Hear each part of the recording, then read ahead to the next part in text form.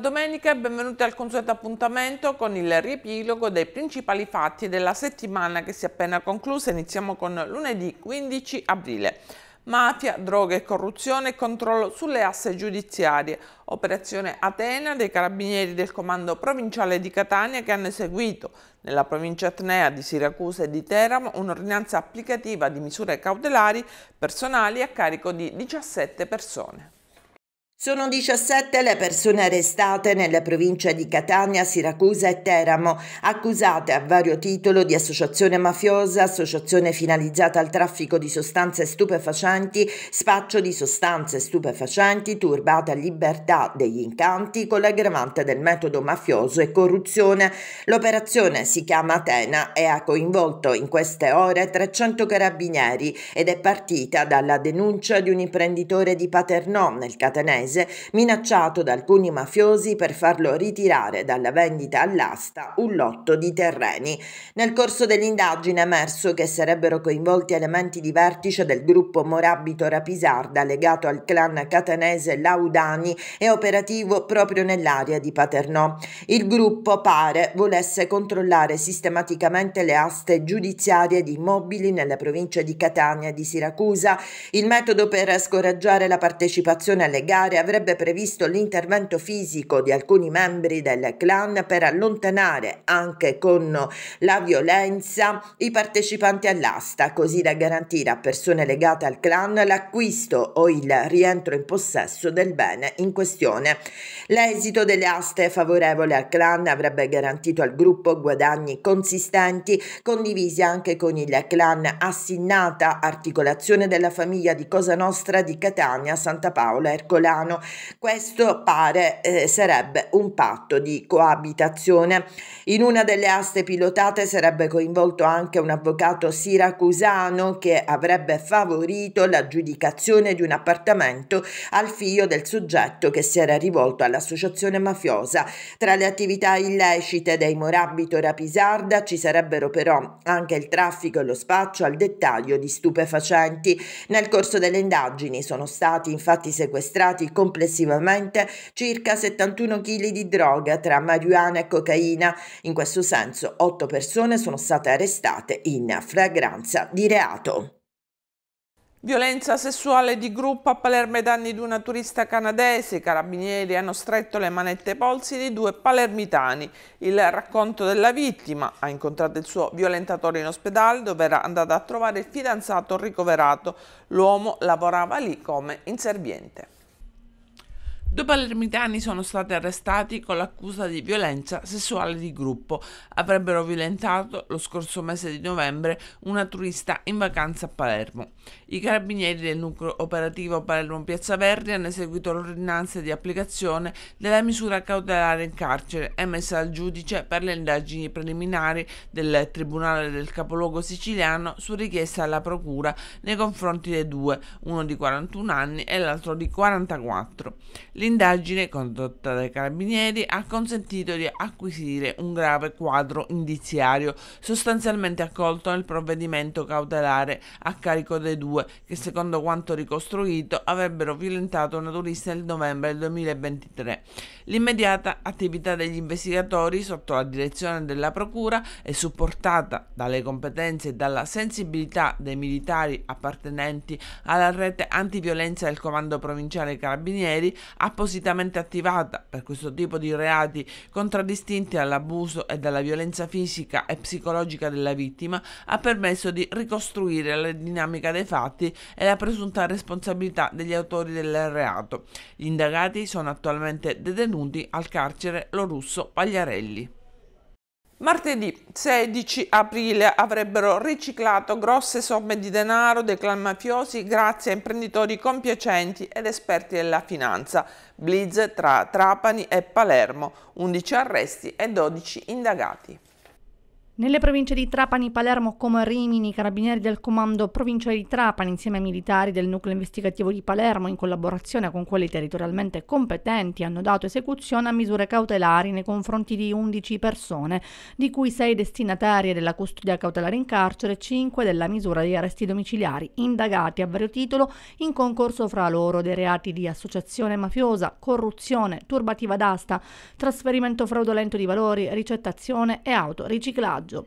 Altre 12 persone sono state raggiunte da informazioni di garanzia. L'indagine ha consentito di acquisire gravi indizi circa la convergenza di illeciti interessi di appartenenti alla famiglia mafiosa di Salemi, il mandamento di Mazzara del Vallo, esponenti di Spiccoli, Cosa Nostra Palermitana e imprenditori consistiti nell'attribuzione fittizia a due imprenditori palermitani della titolarità esclusiva di quote di una società di capitali appositamente costituita per eludere l'applicazione della normativa di prevenzione patrimoniale e agevolare l'impiego di denaro provento del delitto di associazione mafiosa nell'acquisizione di numerosi supermercati di una nota società della grande distribuzione italiana nelle province della Sicilia occidentale. L'acquisizione non si concretizzava per diverse scelte aziendali da parte della società. L'indagine ha fatto emergere la turbativa d'asta nella gara indetta dalla società di pubblico servizio che gestisce la rete d'erogazione dell'energia elettrica a Favignana per la realizzazione di quattro linee di distribuzione media tensione e due cabine di trasformazione di media bassa tensione, in modo da far risultare vincitrice una società di due imprenditori mazzaresi. Nel medesimo contesto sono stati acquisiti gravi indizi per quanto riguarda il pagamento di somme di denaro da parte di due imprenditori per essere incaricati del trasporto della carburante necessario per il funzionamento della centrale termoelettrica di Favignana. Si intitola Dall'indignazione all'azione un salto di qualità del sistema per il contrasto alla violenza di genere ed è l'iniziativa organizzata dal Presidente della Commissione regionale antimafia Antonello Cracolici insieme all'associazione Emili. Ho voluto anche promuovere assieme a Emili eh, questo incontro proprio perché credo che noi siamo in presenza di un dato che la cronaca ci consegna ma in cui Diciamoci la verità, la politica e le istituzioni sembrano balbettare, non riescono a individuare modalità di contrasto efficaci se non come dire, a volte anche demagogicamente l'inasprimento delle pene, c'è chi propone la castrazione chimica, ma la sostanza è una, abbiamo bisogno di mettere in campo una strategia sistemica perché diverse istituzioni sono impegnate su questo fronte, quello educativo innanzitutto, la scuola, eh, la cultura, eh, quelli sociali, eh, le istituzioni sociali, la sanità, eh, le politiche della famiglia, eh, l'associazionismo, i centri antiviolenza, però dobbiamo costruire una rete sistemica, cioè creare le condizioni perché tutta questa strategia abbia anche sua, un, un, suo coordinamento, una sua efficacia, una sua strategia di risultato. Il nostro policlinico ha un pronto soccorso dedicato alle donne che sono vittime di violenza eh, che ha a disposizione un'equipe multidisciplinare per le cure del caso sia da, dal punto di vista psicologico e quindi di accompagnamento a quelli che sono i problemi diciamo, della sfera emotiva che un pronto soccorso di tipo ostetrico e medico.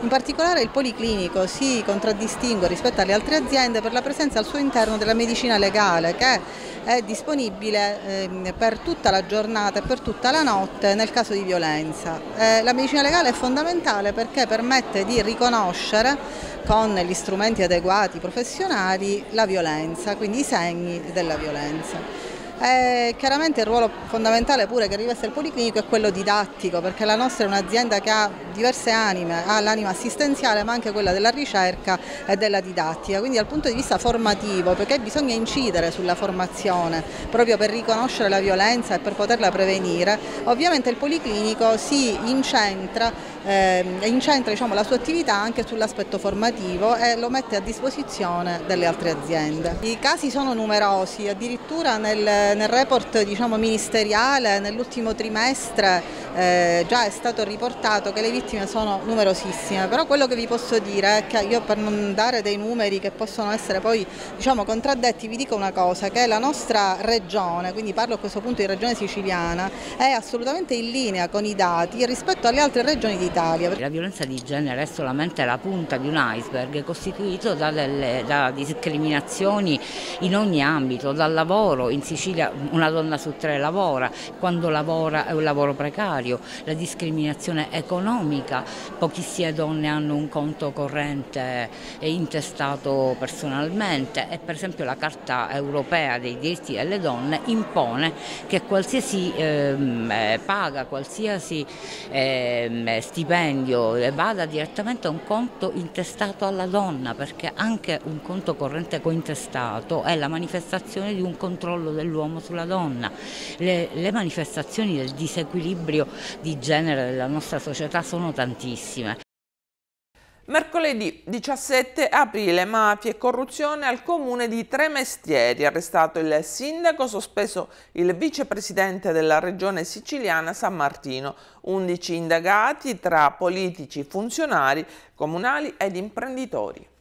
Scambio elettorale, politico mafioso, estorsione aggravata dal metodo mafioso, corruzione aggravata, istigazione alla corruzione e turbata libertà degli incanti. Sono questi i reati per cui oltre 100 carabinieri del comando provinciale di Catania, nell'ambito dell'operazione Pandora, hanno eseguito un'ordinanza di misura cautelare messa dal giudice per le indagini preliminari del Tribunale Etneo nei confronti di 11 persone tra esponenti politici, funzionari comunali comunali e imprenditori. Le indagini portate avanti tra il 2018 e il 2021 avrebbero fatto emergere gli accordi illeciti tra alcuni amministratori del comune di Tremestieri Etneo in provincia di Catania ed elementi vicini alla cosca mafiosa Santa Paola Ercolano riguardanti l'elezione nel 2015 dell'attuale sindaco Santi Rando, destinatario della custodia cautelare in carcere per scambio elettorale politico-mafioso e corruzione aggravata preparata quanto la successiva degenerazione affaristica dell'ente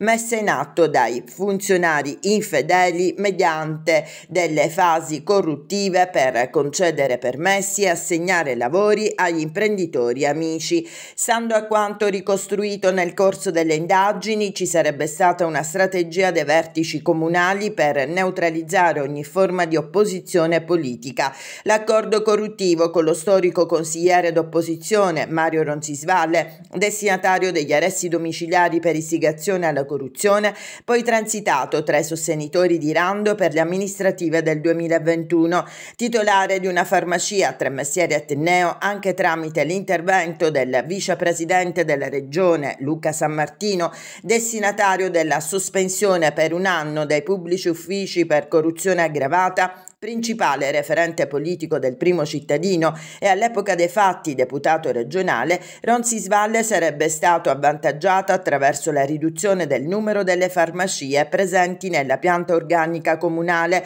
promettendo in cambio il sostegno elettorale per le elezioni europee del 2019 al candidato sostenuto da San Martino. Inaugurata a Palermo la Biblioteca Blu di Palazzo Jung, il progetto dedicato al Novecento a cura di Alessandro De Lisi prende vita all'interno dell'iniziativa il Museo del Presente Giovanni Falcone e Paolo Borsellino. La cosa più bella di questo museo, quando si pensa a un museo si pensa a qualcosa di passato, invece noi qua lei trova quella scritta, qui facciamo futuro, cioè questo sarà il, il posto dove la memoria di quelle terribili stragi del 93, la loro storia, quello che, il lavoro che avevano svolto e quello che pensavano di fare, ecco, tutto questo sarà detto adesso ai giovani di tutta l'Italia che qua potranno venire, fare convegni, accostarsi agli altri giovani. Quindi questo è per certi versi il punto di arrivo della Fondazione Falcone ma allo stesso tempo un punto nuovo di partenza. Il modo migliore per contrastare le mafie da qui? Sicuramente perché come diceva Giovanni la mafia è un fatto culturale e quindi come tale deve essere combattuto oltre alla repressione. L'impostazione che abbiamo dato alla eh, Commissione parlamentare antimafia è quello di parlare sempre ai più giovani perché quello che è successo qui non succeda più, soprattutto eh, eh, possa vedere la sua fine. Lei fa parte anche di una generazione che ha vissuto quegli anni da piccola, ha avuto coscienza, consapevolezza. Noi viviamo in una terra come la Sicilia, come Palermo, dove facciamo ancora i conti col pizzo, col racket, con le minacce, con le estorsioni, con il voto di scambio. Ecco, quanto c'è ancora da fare e quali sono le prospettive secondo lei? C'è moltissimo da fare, io ero una bambina ricordo le immagini al telegiornale, ma tutta la mia attività politica ha poi voluto ricalcare quella storia, non a caso la Commissione parlamentare antimafia si è occupata subito dei famosi 57 giorni che, che dividono la strage di Capaci da quella di Via D'Amelio. Purtroppo la criminalità organizzata e nello specifico la mafia, Cosa Nostra, non hanno ancora trovato la sua fine, anche se li abbiamo e questo lo possiamo dire col sorriso, inferto colpi durissimi, in ultimo eh, eh quello eh, relativo a Messina Denaro che anche stamattina continua esatto. a portare avanti eh, filoni come leggiamo dalle indagini, ma eh, la mia paura, che è la paura che condivido con voi, è che eh, questa eh, rivolta civile che è partita anche e soprattutto da Palermo possa affievolirsi e possa quindi lasciare spazio alle nuove forme della criminalità organizzata. Tra queste nuove forme c'è quella sempre verde del voto di scambio che credo sia una piaga eh, da estirpare, soprattutto perché toglie ai cittadini la possibilità di fidarsi della propria classe politica elettorale. Giovedì 18 aprile l'inchiesta Pandora prosegue con gli interrogatori davanti alla GIP di sei persone. Sono stati interrogati oggi dalla GIP di Catania Carla Aurora Valenti le sei persone arrestate nell'ambito dell'inchiesta Pandora della Procura di Catania. I primi ad essere interrogati dal GIP sono stati il sindaco di Tremestieri, Santirando, poliziotto da anni in aspettativa, destinatario di un'ordinanza di custodia cautelare in carcere per scambio elettorale politico-mafioso e Pietro Alfio Cosentino, ritenuto referente del clan Santa Paola, Ercolano a Tremestieri mestieri. Rando nel corso degli interrogatori ha fatto sapere di essersi dimesso da sindaco. Già ieri il prefetto di Catania ha sospeso dall'incarico insieme con il consigliere comunale Mario Ronzisvalle ai domiciliari. Secondo la procura di Catania i funzionari corrotti avrebbero ricevuto denaro e altre varie utilità. Si è avvalso invece della facoltà di non rispondere davanti al GIP ma ha reso dichiarazioni spontanee Pietro Alfio Cosentino ritenuto referente del del clan Santa Paola Ercolano a tre mestieri etneo. Sentiti i quattro indagati arrestati e poste domiciliari, Giovanni Naccarato, dirigente del comune, l'architetto Puccio Monaco, all'epoca dei fatti consulente a titolo gratuito del sindaco, l'ingegnere Paolo Di Loreto e lo storico consigliere d'opposizione Mario Ronzisvalle, poi transitato tra i sostenitori di Rando alle amministrative del 2021. Sarà interrogato invece invece domani il deputato regionale Luca San Martino, indagato per corruzione dalla Procura di Catania. Strage di Altavilla, Giovanni Barreca racconta al suo avvocato una nuova versione dei fatti secondo i quali un imprevisto evento atmosferico interpretato da lui e dalla coppia Sabrina Fine e Massimo Carandente come segno della presenza dei demoni. I tre avrebbero lasciato la villetta con la minorenne chiusa e bendata nella sua stanza. Ultimi sviluppi sulla strage di Altavilla Milicia, con una nuova verità raccontata da Giovanni Barreca al suo avvocato Giancarlo Barracato e alla consulente della difesa nella valutazione della capacità di intendere di volere dell'uomo, la criminologa Roberta Bruzzone. La versione di Barreca è al vaglio degli inquirenti della Procura di Termini Merese e dei militari della compagnia della cittadina palermitana che hanno accompagnato l'avvocato Barracato e la Bruzzone sul luogo del delitto, dove i due hanno effettuato nuovamente alcuni rilievi. Nel carcere di Enne il detenuto avrebbe detto all'interno del colloquio che dopo gli omicidi della moglie e di due dei tre figli doveva essere sacrificata anche la figlia maggiore di 17 anni, anche lei in carcere in una struttura minorile femminile, la quale era stata legata e portata in camera bendata solo che durante l'esorcismo su Altavilla si è abbattuta una bufera, tanto che la notte tra il 10 e l'11 febbraio i vigili del fuoco hanno lavorato incessantemente per alberi caduti e danni provocati dalla bufera di vento, dicono l'avvocato e la consulente. Un segno della presenza dei demoni per i tre, Giovanni Barreca, Sabrina Fina e Massimo Carandente, i quali avrebbero abbandonato la villetta lasciando la figlia chiusa in camera. Barreca sarebbe andato via in ciabatte dopo aver dormito in auto e avere chiamato prima la sorella e poi il fratello, alla fine si rivolse ai carabinieri per consegnarsi. Secondo Barreca, a gestire l'esorcismo sarebbe stata Sabrina Fina, che in un aramaico inventato dava istruzioni su cosa fare. Sarebbe stata la voce di Dio. Antonella Salamoni invece sarebbe stata lasciata per terra per tre giorni senza cibo, sarebbe stata picchiata con una padella ogni volta che si ribellava, l'avrebbe picchiata Fina, ma anche il figlio Kevin. Una volta uccisa, la donna sarebbe stata bruciata in una fossa realizzata nel terreno della villetta, con il corpo avvolto in un piumone su cui sarebbero stati versati tre litri di benzina e ricoperto il corpo da oggetti di ceramica sarebbe stato creato un effetto forno che da venerdì avrebbe continuato a bruciare per tre giorni. Poi toccato al piccolo Emanuele di cinque anni, morto anche lui, lasciato legato per giorni senza cibo. A questo punto l'altro figlio, Kevin, avrebbe iniziato a ribellarsi, sarebbe stato legato dai due fanatici e picchiato, legato e incaprettato. Quando toccava Miriam, la bufera avrebbe messo in fuga i tre.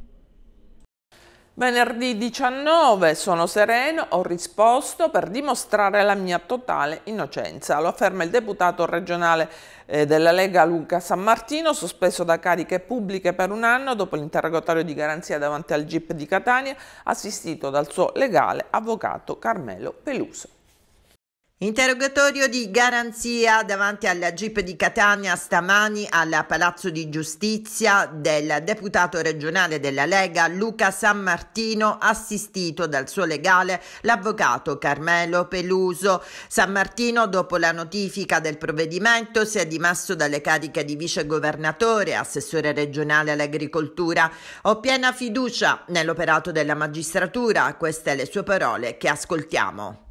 Ho risposto a tutte le domande che mi sono state eh, poste perché sono assolutamente estraneo alle vicende che mi vengono contestate. Tengo a precisare che io non sono coinvolto perché ho letto purtroppo da testate giornalistiche e televisive io non sono coinvolto in reati di mafia né in voto di scambio, mi vengono contestati due capi di imputazione sui quali ho risposto con grande serenità dopo aver letto in questi giorni, in questi pochi giorni le carte che mi sono state fornite e sono assolutamente sereno oggi di aver risposto a tutto ciò che mi veniva contestato che è la corruzione eh, su due fatti specie specifiche e, e, ho risposto con grande serenità perché io non ho commesso atti di corruttela ma soprattutto eh, ho risposto per dimostrare la mia totale innocenza è passato un messaggio sbagliato riguardante l'accusa a San Martino.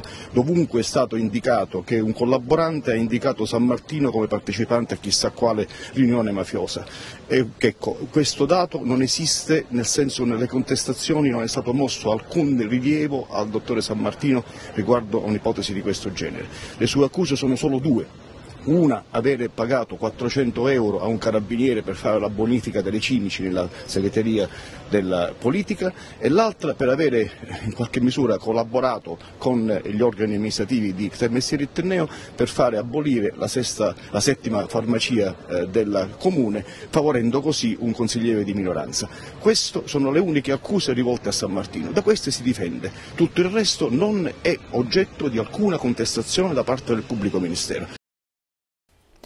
Iniziato il processo a sé degli imputati per il presunto stupro avvenuto eh, lo scorso luglio a Palermo a danno di una giovane palermitana. Gli avvocati che difendono i sei chiederanno il rito abbreviato che prevede eh, uno sconto di un terzo della pena.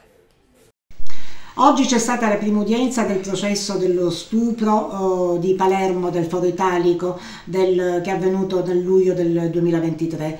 È stata una data molto importante, nel senso che l'abbiamo aspettata tanto. Ehm, c'è stato il primo confronto in aula di tutti, tranne che della mia assistita perché è in protezione in una casa rifugio, quindi non è venuta. Però i detenuti sono venuti eh, tutti, eh, sono venuti sei, eh, cioè sono venuti 5 su 6 perché ricordo che il settimo è già stato condannato al Tribunale dei Minori a 8 anni e 8 mesi e questi, questi, ragazzi che sono venuti in aula, uno è rimasto collegato dalla casa circondariale nella quale. Eh, mi si è chiesto da tutte le parti se, questi, se avessi colto dei segni di pentimento in questi giovani. Erano dei giovani normali che né belli né brutti, né buoni né cattivi all'aspetto. Erano dei giovani che hanno assistito ad un processo, non so quanto lo abbiano sentito loro, ma era come se assistessero ad un processo di altri. Questa è stata la mia sensazione. L'attività di oggi è stata un'attività tecnica perché si è parlato di costituzione di parti civili, ci siamo costituiti parti civili, ma un'esperienza importante è stata quella di aver assistito alla partecipazione della società civile che ha, si è costituito, molte associazioni difatti si sono costituiti parti civili, eh, circa 10. Naturalmente si vedrà alla prossima udienza se saranno ammesse o meno. Nessun'altra attività eh, è stata svolta per, perché il giudice ha rinviato il 29 di aprile per decidere sull'ammissibilità delle costituzioni di parte civile e, su, e proseguire l'attività anche sulla scelta del rito. Ieri sabato 20 aprile, faida di Palma di Montechiaro, dopo un anno e mezzo i carabinieri di Agrigento hanno arrestato il presunto autore dell'omicidio di Angelo Castronovo, in manette Giuseppe Rallo. Blitz dai carabinieri di Agrigento Allicata per fermare la faida di Palma di Montechiaro. I militari del comando provinciale, con la collaborazione dello squadrone eliportato cacciatori di Sicilia, dal nucleo elicotteri e dal nucleo cinofili di Palermo, hanno dato esecuzione ad una ordinanza cautelare in carcere emesso dal GIP presso il Tribunale di Agrigento su richiesta della locale Procura della Repubblica. Le manette sono scattate per il presunto killer killer Giuseppe Rallo, 31 anni, ritenuto l'autore dell'omicidio premeditato di Angelo Castronovo, il bracciante agricolo ucciso il 31 ottobre del 2022 in contrada Cipolla tra Palma di Montechiaro e Licata. Castronovo era considerato dalle cosche un traditore e per questo nei suoi confronti sarebbe stata emessa una sentenza di morte. L'attività di indagine avrebbe consentito di raccogliere gravi e concordanti indizi di colpevolezza nei confronti dell'uomo, ritenuto essere stato l'esecutore materiale della sentenza di morte nei confronti di Castronovo. La vittima venne colta di sorpresa mentre stava caricando un escavatore sull'autocarro che aveva in uso, dopo aver effettuato dei lavori agricoli per conto terzi in contrada Cipolla. Castronovo era stato colpito da numerosi colpi di arma da fuoco al torace e all'avambraccio braccio destro per poi essere finito con un colpo al volto in classico stile di esecuzione mafiosa. Il movente dell'omicidio si ritiene possa essere inquadrato nell'ambito della faida tra le famiglie Rallo e Azzarello di Palma di Montechiaro, culminata con l'omicidio di Enrico Rallo e Salvatore Azzarello, vicenda nella quale Castronovo si era trovato coinvolto. L'arrestato di oggi è il cugino di una delle due vittime, Enrico Rallo. Arriva la PET Therapy per i piccoli pazienti dell'oncoematologia pediatrica dell'ospedale civico di Palermo. L'iniziativa in collaborazione con AIA Spartinico rientra nel progetto dell'Associazione Siciliana contro le leucemie e i tumori infantili, dalla cura al prendersi cura, finanziato dal Ministero delle Politiche Infantili. Emozioni a quattro zampe, un sabato di gioia a Villa Filippina. Sì, Emozioni a quattro zampe è un progetto che l'associazione ha sognato da anni. Portare la terapia assistita con gli animali in ospedale è un passo da giganti in quello che è eh, l'attività terapeutica nei confronti di tutti i pazienti, non soltanto dei bambini quindi ci stiamo muovendo proprio per eh, fare questo e aspettiamo veramente con grande ansia che ci venga autorizzato proprio l'autorizzazione a poter portare i cagnolini in day hospital dove i bambini saranno felici di poterli accarezzare e giocare con loro. Io penso che sia un progetto davvero importante eh, per questi bambini ai quali purtroppo per ovvie ragioni legate, legate alla malattia viene tolto davvero tanto, eh, quindi il ritornare ad avere un contatto con, eh, non solo con i giochi ma anche con eh, gli animali che secondo me sono un bene prezioso per i bambini perché aiutano davvero a crescere, penso che sia davvero molto molto importante. Sì, io ho una bimba, Giorgia, eh, che appunto ha avuto anche lei la leucemia, eh, noi abbiamo dei cani e eh, abbiamo visto comunque eh, come allontanarla dai cani per ovvie ragioni è stato anche difficile, quindi il suo ritornare ad avere un contatto con i suoi cani è stato davvero una cosa meravigliosa. Nel concreto cosa farà il cane? Il cane è un coterapeuta, è quale migliore animale dagli anni, eh, dall'antichità, eh, miglior amico dell'uomo, è sempre stato definito il cane ed ecco grazie a lui che eh, riusciranno a realizzare dei lavori eh, di eh, accudimento verso il cane, quindi proiettare quelle che sono le loro eh, difficoltà che ehm, hanno quotidianamente quando fanno le loro terapie eh, per migliorarne l'approccio e renderli sempre più forti questi bambini perché è quello di cui hanno bisogno. Chi può erogare questi tipi di interventi? Allora, ehm, possono essere erogati solo da enti che sono accreditati con l'assessorato Regione Sicilia Salute. Ecco è importante perché eh, sono state date delle linee guida di indirizzo ben specifiche per la quale eh, esiste un'equipe multidisciplinare esperta in interventi assistiti con gli animali, composta da responsabile di progetto, da un veterinario specializzato che supervisiona costantemente gli animali regionali e dai referenti di intervento e dei coadiutori anch'essi specializzati perché sono loro, eh, grazie alle loro competenze acquisite, che possono svolgere questo tipo di interventi. Potrebbe essere un primo assaggio di quello che potrebbe essere fatto anche all'interno del, del, del, nostro reparto, magari del, del DH. Eh, penso che sia un tassello anche importante nel, nello, nello, sviluppo del miglioramento dell'accoglienza nei confronti dei bambini. Già iniziative di questo genere sono partite in altri centri di oncoematologia pediatrica nel territorio nazionale, eh, Bari, Cagliari, anche al Gaslini di Genova e devo dire che i colleghi mi raccontano che l'impatto da parte dei bambini e dei ragazzi nei confronti di questa possibilità eh, di accoglienza e di intrattenimento è, è stato veramente entusiastico. Ed è tutto, grazie per essere stati con noi, vi auguro ancora una buona domenica, arrivederci.